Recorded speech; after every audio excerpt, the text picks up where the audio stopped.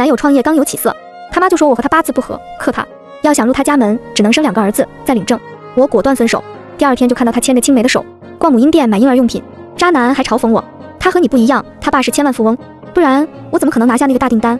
我冷笑转身，直接在渣男公司楼上开了个新公司，把他的单全部抢了过来，坐看他破产。一毕业后，我进了男朋友周岩的公司，给他当秘书，月薪三千。不到半年，周岩公司就转亏为盈，还拿下了一个百万订单。三天后，周岩他妈五十大寿，提前一天邀我上门做客。这也不是我第一次去他家里了，以前每次去都会拎点小礼物，这次我想着他妈过生。就直接准备了十万块红包，结果一进门我傻眼了，周岩的七大姑八大姨全来了，一双双眼睛毫不顾忌地盯着我看，长得太漂亮了，不适合当老婆，屁股太小，肯定生不出儿子，看那眼睛跟狐狸似的，铁定不安分，一个个可真有教养。周岩他妈更牛，直接拉着我说：“小金啊，前两天我和周岩他爸回老家，找黄大仙合了一下你和周岩的八字，结果是你和周岩八字不合，克他，这可把我急的哟。我家周岩这刚刚拿了个百万订单，你要是克他，那不是让他的努力打水漂吗？”我察觉到氛围不对，眉毛一挑，笑问：“所以他妈笑得和蔼可亲。”黄大仙说了，想要化解这个难题，很容易，只要你先给周岩生两个儿子，再领证结婚就 OK。所以小金，你看你要不今晚就不走了？我忍住拔刀的冲动，别说未婚先孕，在我这里未婚先同房都不行。我看向周岩，毕竟是他亲妈，由他拔刀。你好，我好，大家好。没想到周岩走向我，笑呵呵拉着我的手，点头就应了。妈，我和程程肯定听你的，生了儿子再谈结婚。我是手控。周岩的手又细又长。我最喜欢他牵着我，可这一刻却犯了恶心，直接甩开了他。生了儿子再领证结婚，怎么大清都亡了？你家还有皇位要继承是不是？周岩薄唇一抿，不高兴了。他妈和那一堆亲戚直接炮轰我，你怎么说话的？有没有教养？有小辈这么对长辈说话的，太不懂事了。我们妍妍没和你分手，已经是你天大的造化了。让你先生两个儿子怎么了？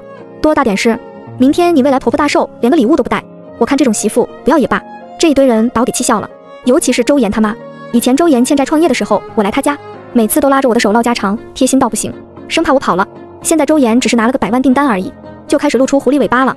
我再次看向了周岩，你怎么说？二，周岩比我大一届，是我学长。我本来想着冲着我们三年的感情，只要他开口维护我，今天这事我可以就这么算了。他妈以后别再作妖，我还是可以孝敬他妈。谁知道他不愧是他妈生的，母子俩一个德行，那鼻孔都快翘到天上去了，硬气到不行。京城，我家里人说的对。这件事关系着我的事业和未来，你八字克我，如果想要嫁给我，就只能先给我生两个儿子，再谈结婚，不然这件事没得谈。哈，我气得浑身发抖。我以前怎么没发现周岩竟然是这么个狗东西？我八字克你，周岩，你脑子没问题吧？我要是八字克你，你公司能转亏为盈，能拿下这一百万的订单？周岩眸光一闪，京城，你别拿这个来说事，我公司有起色是事实，可是和你没半点关系。就你那职位，我找谁不行？总之，你要是不答应我妈。先给我生两个儿子，那我们就只能分手了。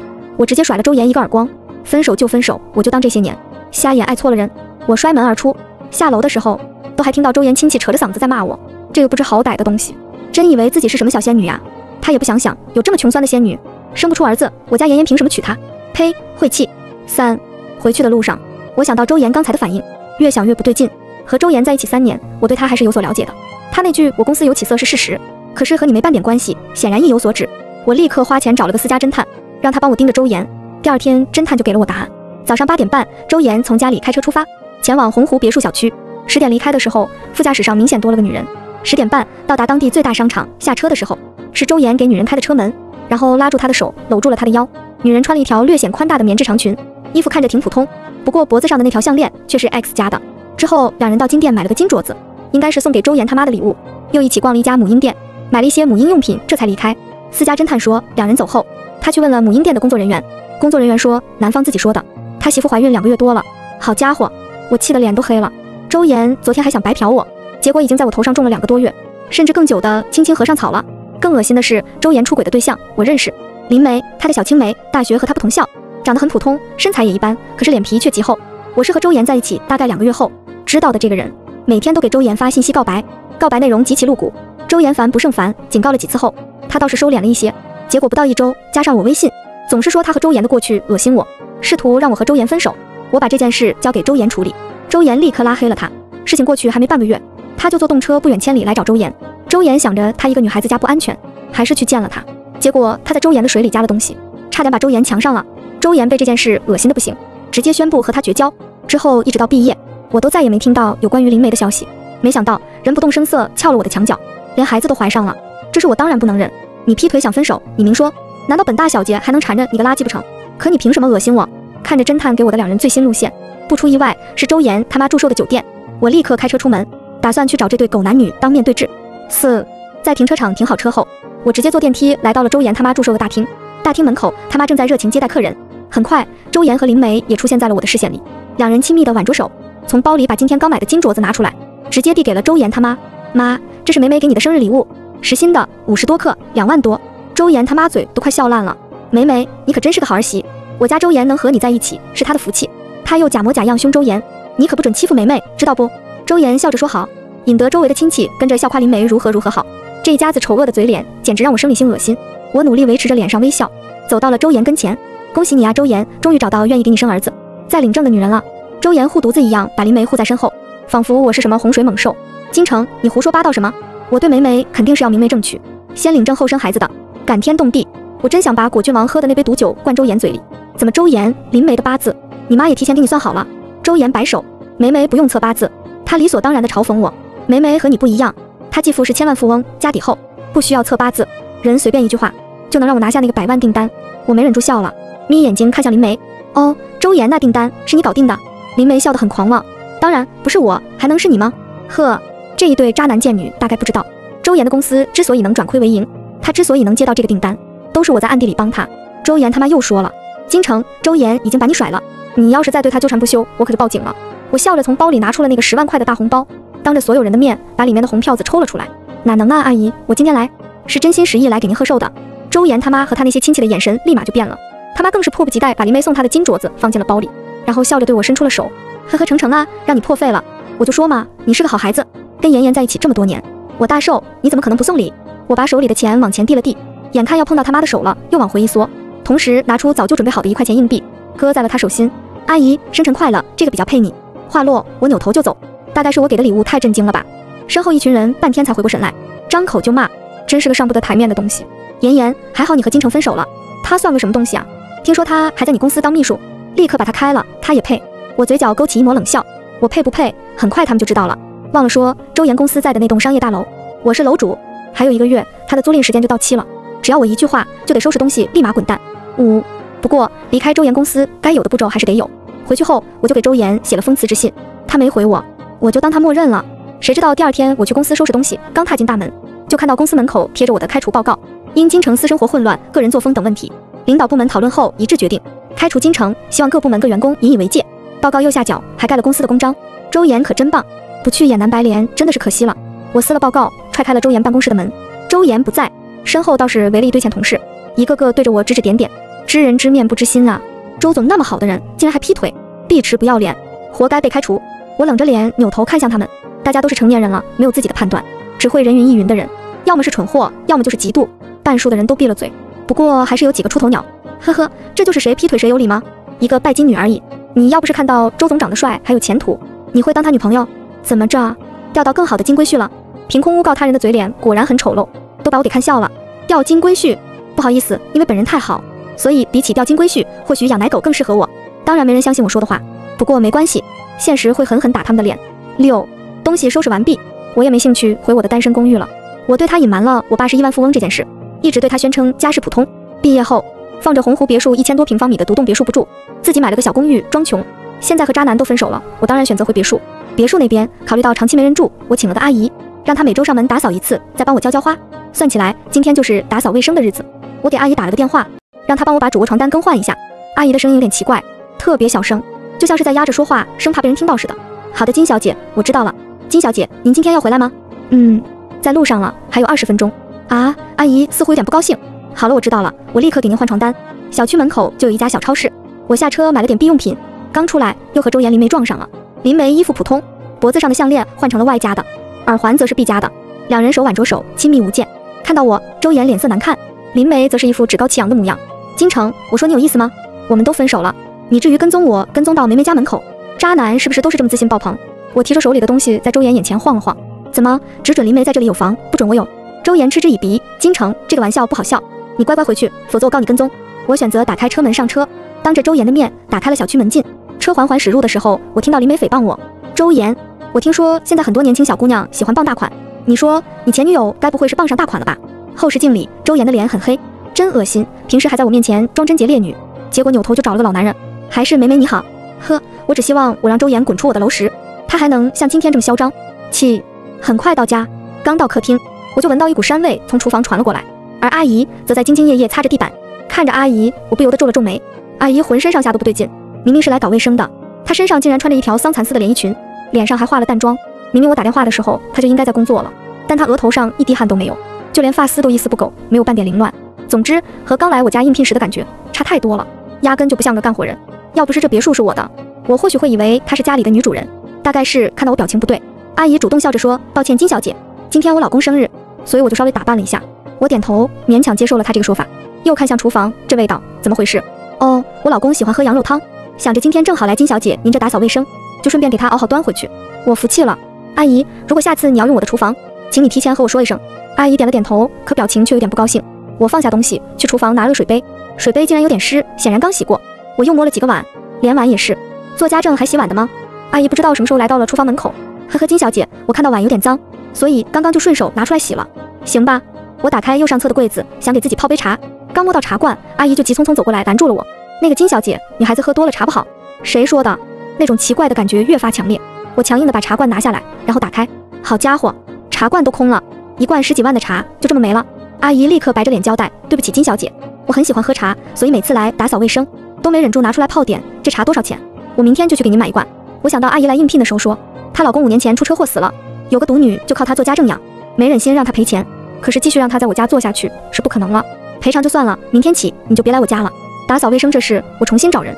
阿姨脸色又白了几分，不过毕竟是她理亏，还是什么都没说，就乖乖拿着东西走了。离开时还端走了她那锅羊肉汤。可是等我回到主卧，我才知道什么叫做人善被人欺。八，我的柜子里挂了很多新衣服，没穿过的定制款倒是连标签都还在，可我所有带标签的蚕丝睡裙都没了标签，其中有几条还有明显穿过的痕迹，更甚至有一条白色睡裙上还有一团没洗干净的红色印记。我气得打开了另一边的柜子，翻出了我所有的新床单。好家伙，有一床淡紫色床单上也有红色印记，我气得瑟瑟发抖。一想到那个阿姨穿过我的睡裙，甚至可能还跟别的男人在我的床上干了什么，我就想吐。事已至此，我肯定不会轻易放过她。我想到当初让人在家里安了几个隐蔽监控，立刻打开了手机。这不查不知道，一查吓一跳，的确有人穿了我的睡裙，还和男人在我的大床上翻云覆雨，缠绵了不知道多少次。不过女主人公不是阿姨，而是林梅，男主人公自然就是周岩了。至于我那些定制款的衣服，林梅不是不想穿，只是那些衣服都是贴合我的腰身设计，没有睡裙宽松。她试了几次，连拉链都拉不上，只能放弃了。更过分的是，就在我到家之前，林美阿姨、周岩正其乐融融坐在沙发上聊天。要不是我要回来，他们一家子应该已经在我的餐桌开吃了。怪不得阿姨会莫名其妙洗碗。我又想到林梅今天戴的耳环和项链，打开了我的首饰盒，果然少了不少首饰，其中就包括那条外加项链和 B 加耳环。我拿出手机打算报警，周岩来消息了，点开一看，好家伙，竟然是一封结婚请帖。他和林梅要在这个月月底结婚。看着请帖上两人的婚纱照，我果断放弃了现在报警的念头，不如等他们结婚，给他们送上一份大礼如何？我回周岩，行啊，到时候一定去。二十秒后，周岩发来了语音消息，点开，声音是林梅的，明明是粗声粗气的声音，非要装绿茶。抱歉，京城，我老公让我帮他发请帖，我手滑不小心发给了你，你不会介意吧？原来是来装十三的，我也给他回了个语音，大方得体，放心，我不会介意。过去的都过去了，我会给予你们最真挚的祝福，你们的婚礼我会来的。九之后，林妹妹再回我，我也没空理她。报警这个步骤是最后的大菜，他们给了我这么多惊喜，我不给他们准备点开胃小菜，那怎么行？整理了部分视频后。我首先找师傅帮我换了锁，然后离开别墅，重新换了一处房子，四室三厅的豪装房。那地方等事情结束，我也只能卖了，再住反正是住不下去了。接着我给周岩接下来的合作方，我父亲的一个学生打了个电话，我走了，那个百万合同他也不想接。最后我找到了周岩楼上公司的老板，这家公司和周岩公司业务几乎重叠。和周岩不同的是，这一年周岩在走上坡路，可他们已经快撑不下去了，就连房租都拖欠了快半年。接到我的电话，对方以为我是来催房租的，立刻表示抱歉。对不起，金老板，拖欠了这么久房租，我真的很抱歉。您放心，最迟三天我就把房租给您。我这公司已经找到接手人了。我有点意外，之所以答应给他免房租，是因为对方勤奋踏实，也肯吃苦，对这家公司更有一种难得的执拗。我本来以为想要劝他和我合作会费一番功夫，不由得一笑。王大哥既然舍得卖公司，不如考虑考虑增加一个合作伙伴。我和王增约了见面时间和地点。当他看到我时，不由得大吃一惊。金老板，他当然认识我，毕竟楼上楼下。我调侃道：“看王大哥这个表情。”想来已经知道我的风评了吧？王增笑道：“本来我就不信这些事，现在我更知道不可能了。我突然知道金老板为什么会找上我了，能和金老板合作，我赚大了。不过只怕到时候周岩会连肠子都悔青，我也跟着笑。肠子悔青怎么够？我有比这更狠的，敢和别的女人在我的床上恶心我，就得承受我生气的代价。十，我很快就和王增签订了合作协议。我本来想做个幕后老板，但是王增说我出了这么多钱和资源，非要给自己降职，让我当老总。我拗不过他，只能答应。不过首要条件是，公司经营方面还是主要交给他。另外，我的身份和名字暂时对外保密。有了我的加入，新公司的业务立刻多了起来，就连让周岩引以为傲的那个百万订单，也转手到了王增手里。王增每天都给我打小报告，说周岩急得像热锅上的蚂蚁，不止一次来公司门口堵他，问他到底怎么一回事，到底是使用了什么手段抢了他的订单。我可爽死了，眼看已经二十二号，立刻用我的另一部手机给周岩发去了短信。不好意思，周老板，这个月底我和您的租期就到了，我不打算续约，还请周老板在月底之前搬走。周岩立刻给我回了电话，我没接，他就给我发短信，试图晓之以理，动之以情。什么他创业不容易，这段时间刚有起色就遇到了难题。什么他媳妇怀孕了，受不得刺激。什么我们合作这么多年，希望我继续租给他。只可惜我已经被他恶心成了铁石心肠。他就算是跪在我面前，我眼皮子也不会眨一下。我回这件事没商量，过几天我会把押金退你。大概等了二十分钟，周岩才回我。行吧，金老板，就按照您说的办。十一，以我对周岩的了解，他应该不是这么轻易放弃的人。毕竟我给他的租金价格是市面价格的一半，他怎么舍得放弃？果不其然。第二天，我第一次到新公司上班，因为电梯故障，只能走楼梯。刚走到周岩那楼，我就听到了他的声音：“梅梅，周叔叔怎么说？他很着急。要是周叔叔不出面帮我，这写字楼我可就真的没法续约了呀。现在外面哪能找到我现在的租金？好吧，梅梅，你再试试，爱你。”挂手机之前，周岩对着手机亲了一下，很响亮。下一刻，他就扭头看到了我，脸紧跟着板了起来。金城，怎么又是您？我笑着往上走，我来上班，很快就和他擦肩而过。周岩，你放心，我没毛病，还不至于对你纠缠不清。看着我一路往上走，周岩反应过来了，你去王家应聘？我点头，算是。金城，你非要恶心我是不是？王家这些天抢了我不少单子，你知道吗？看着渣男气，我就开心，立刻笑颜如花。我知道啊。周岩愣了一下，才冷哼，就算是王家，也不会要一个道德败坏的女人入职，那就拭目以待吧。我踩着高跟鞋继续往上走，周岩大概是想看我笑话，也跟了上来。刚到新公司门口，遇到好几个人，其中有三位是我在周岩公司上班时的前同事。三人看到周岩，相当尴尬。呵呵，周总，您怎么来这了？周岩额头青筋跳了一下，明显很生气，却非要装大度。呵呵，你们不用这么紧张，跳槽而已，这不是什么见不得光的事。我来这里是不希望王家被金城这个女人蒙骗，这种女人去哪儿拿倒霉？三个前同事明显松了一口气，转瞬就站在周岩同一阵营里。金城，你也是来王家应聘的，我劝你打消这个念头吧。谁不知道王总顾家最看不上你这种私德败坏的人？就是王夫人今天也来了，你赶紧滚吧，免得被赶出去。他们话刚落，王家公司门内两道身影就急匆匆走了出来。一个是王增，还有一个就是王夫人。看到他们，前同事们脸上都带上了礼貌的微笑。周岩则有些尴尬，不过这两口子压根没空理会他们，直接走向了我。王夫人拉着我的手，亲热到不行。金小姐，我可算是见着你了，太谢谢你了。王增则无奈摇头，抱歉，金小姐，我夫人知道您今天要来公司，说什么都要来见您一面。王增这才看到了周岩，他笑着走过去，周总，给您介绍一下，这位是我们王家公司现在真正的老板，金小姐。所有人都傻了，周岩更是不可置信，张大了嘴巴，老板。是啊，王增笑道：“多亏了金小姐，不然我早就经营不下去了。金小姐是王家的救命恩人啊！”我阻止了王增继续往下说：“我也是有利可图才会帮你进去吧。面试者们都等不及了吧？随着王家业务的扩大，自然需要扩招。初步筛选我交给了王增。今天我来是想亲自进行最后的面试。”王增点点头，和他夫人一起往前走。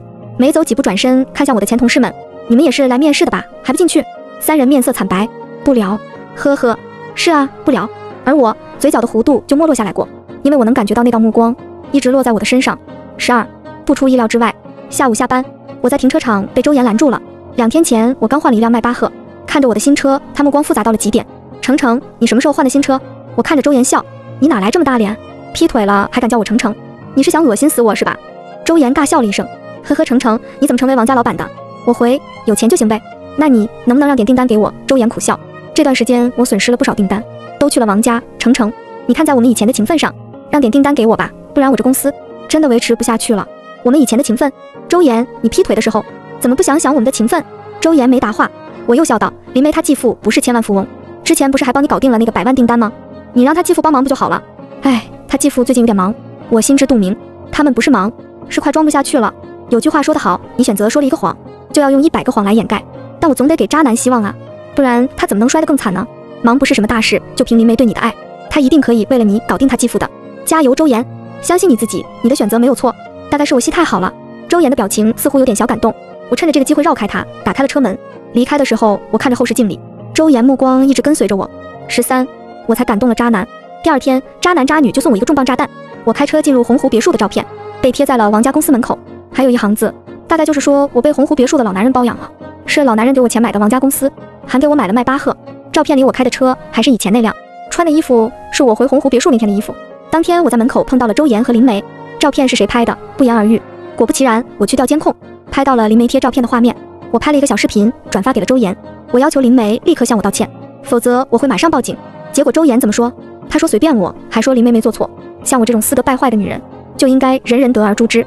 还说什么林梅现在是孕妇，报警也没用，警察来了顶多批评教育，也不会把她抓起来。很好，不要脸应该也会传染吧？周岩和林梅可是越来越像了。我用另外一个手机给周岩发了消息，我马上来你公司，把你的押金退给你。人贱了不起呀？我可以用魔法打败你。十四，周岩回了我一个十点钟。我现在还没到公司，于是我按照他给的时间，十点准时来到了楼下。到他办公室门口的时候，他和林梅正在亲热，两人帘子都没拉，全然无视影响。他抱着林梅坐在办公桌上，一手扶着她的腰，一手抱着她的后脑勺，亲得很忘我。我看了一眼外面的前同事们，个个眼神都很精彩，仿佛亲眼看到白菜被猪拱了一样。毕竟周岩在他们心目中可是帅哥一枚。我静静观赏了一会儿，这才打断两人亲，差不多得了，大庭广众之下，而且林梅都怀孕三个月了吧，还是得注意一点的。听到我说林梅怀孕，前同事们表情更精彩了，哈哈，谁是劈腿那个？一目了然。周岩和林梅终于停止了亲热。金城，你不说话会死啊？你来这里干什么？两人同时开口。我走进去坐下，从包里拿出一沓钱，我来退周岩押金呢。周岩皱眉，什么押金？我指了指脚下，他脸色一变，这写字楼也是你找的那个老男人的？我笑，周岩，诽谤可是犯法的，你别张口闭口就是什么老男人，你睁大你的狗眼看清楚，老娘需要去找老男人吗？我拿出我早就准备好的一叠房产证。好好看看这栋楼是谁的。周岩拿起一本房产证，翻开，愣了一下，放下，拿起第二本房产证，又愣了一下，放下，拿出第三本房产证后，他加快了速度。等他放下最后一本，他整个人看上去都有点虚脱。一旁的林梅不顾形象，大喊大叫：“周岩，你别相信这个女人，这是假证，假证！”周岩终于回了那么一点智商，闭嘴！你真以为王增是蠢货，会把公司卖给一个傍老男人的情妇？周岩看向我，眼里起了一些血丝。对不起，程程，是我误会你了。我笑着把房产证放进了包里。这句话我等了很久，只可惜周岩晚了。周岩脸色又白了一分。离开的时候，我听到林梅安慰他：“不就是一栋楼吗？”周岩，你忘了我继父答应我们的，等我们婚礼办了，就送我们一栋楼当礼物。周岩的脸上这才多了一点笑容。只可惜让他期待的婚礼注定是一场噩梦。十五，第三天，周岩公司就搬走了，或者也可以说彻底解散。我还有几个老同事的微信好友，看到他们发朋友圈抱怨，说周岩连工资都没发全，就吃了个散伙饭，还说什么周岩肯定是上头了，才会被丑女人蛊惑。我笑着删掉了老同事们微信，等着给周岩最后一份大礼。终于，周岩和林梅大婚的日子到了，我姗姗来迟，给了五块钱红包。周岩他妈看到我，脸色一变，看样子又想骂我了，不过却被周岩拦住了。妈，算了，今天是我和梅梅大喜的日子，闹大了不好。我少了人打扰，找了个角落坐了下来。这场婚礼办的可是相当奢华，听同桌的人说，婚礼花了一百多万。周岩父母手头现金不够，还找亲戚借了不少。虽然婚礼花钱花得多，可是值啊。你们知道周岩他媳妇身价多少吗？听说八位数往上。他爸房子都在鸿湖别墅，周岩他爸妈现在可以好好享福了，娶了这么个媳妇，几辈子修来的福气。我听着众人羡慕不已的声音，只想笑。骗来的福气终究是幻梦一场，轻轻一戳就碎了。婚礼很快开始，周岩和林梅在所有人除了我祝福的目光中走向了舞台。司仪说了一堆话后，问他俩愿不愿意娶嫁给对方，两人都深情款款，林梅更是流下了激动的眼泪。最后两人深情相拥，吻在了一起。两人一边吻着，背后的大屏幕上，他们的结婚照开始播放。大概播放了五张后，画面突然一变。一段不可描述的视频出现了，还伴随着不可描述的声音，现场陡然安静了下来。周岩他妈更是发出一声不可置信的尖叫。周岩和林梅这才察觉到了不对劲，同时放开对方往后看去。啊，这是什么？林梅也大叫了起来。关了，赶紧关了！这是谁干的？林梅在人群里准确捕捉到了我，是你对不对？金城，你这个贱人，一定是你！他疯了一样朝着我扑来，他妈把他拉着，同时皱眉看向了我，接着就是脸色大变。怎么是你？我笑容优雅，和他们的失态形成了鲜明对比。林梅他妈反应过来了，连唇都白了。林梅，周岩的前女友，难道就是她？林梅红着眼骂我，对，就是这贱女人。她嫉妒我可以嫁给周岩，可以怀周岩的儿子，所以来害我。她，啪的一声，他妈一个耳光狠狠落在了她脸上。林梅，你给我闭嘴！林梅还想冲过来打我，他妈又看向不远处一个瘸腿的男人，大喊：周志广，还不赶紧过来拉住林梅！瘸腿男人把林梅拉住后，林梅他妈走过来求我：金小姐，求求您，今天是我女儿大喜的日子，求求您给她一点脸面。我看着面前的中年女人。觉得她可悲极了，曾经她在我面前装可怜的画面还历历在目，殊不知她所有的可怜都是自找的。上梁不正下梁歪，没有她的许可，林梅能入我的房间，是他亲手培养了一个小偷。这些话不要对我说。我想你去警察局对警察说会比较有用。十分钟前我就已经报了案，算一算时间，警察应该快到了。我话刚落下，大厅外就走进来几个警察。请问是谁报的警？我笑着举手，是我。我把事情的前因后果告诉了警察，附带我准备好的所有资料，证据确凿。林梅当场就瘫坐到了地上，哭的妆都花了。周岩一家人全都傻眼了，有几个人更是对着林梅骂骂咧咧，说她不要脸。而我因为是报案人，还需要去警察局做笔录，所以还需要跟着走一趟。离开现场的时候，周岩他妈哭着拉住了我的手，程程啊，是我不对，是我猪油蒙了心，是我逼周岩和你分手的，都怪那个贱女人。要不是那个贱女人骗我，我怎么会想出那个法子逼你和周岩分手？程程，求求你原谅周岩好不好？我扒开了周岩他妈的手，看向了一旁同样被戴上手铐的周岩。我知道周岩不知道事实不足以定罪坐牢，可是这已经够了。他就算没有进监狱，这件事也会成为他一辈子的桎梏，他永远都出不来了。活该！阿姨，我是不够漂亮，还是不够有钱？周岩他妈愣了一下，有，都有。我笑得更灿烂了。既然我又漂亮又有钱，那我不小心找到垃圾就算了，难道还要负责回收？独自美丽不好吗？